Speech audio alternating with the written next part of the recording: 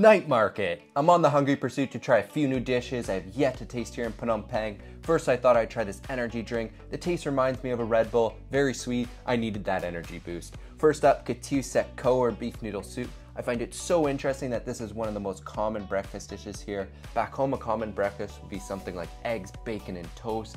The soup tastes light and healthy. What do you typically eat for breakfast? I know you guys wanted me to try balut, but I just chickened out today. Last I tried fish soup called Bobo Trai. I found the broth so hearty and had a nice garlic fishy flavor.